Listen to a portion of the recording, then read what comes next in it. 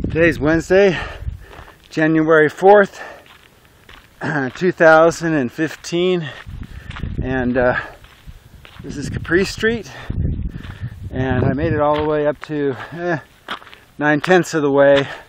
Took me about 40, 47 minutes. I had another maybe five minutes to go. Over there's the uh, the uh, Nike base uh, up here, and that where the telephone poles are. That's where the end of my trail is, right there. But I hadn't done this for about a week. See how I would do. I did actually did pretty good. I actually pumped up the back tire a little bit. It helped quite a bit.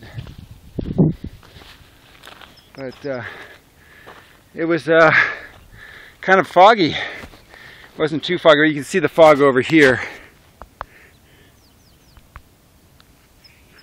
Some fog in the valley. And so there's also fog down in the uh, in the basin. And uh, yeah. So here I am.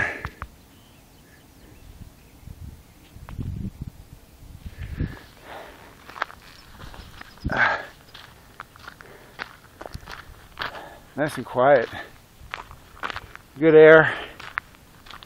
Kind of cold when I started and I just kept warming up. As usual, just warms up the higher you go up in the morning.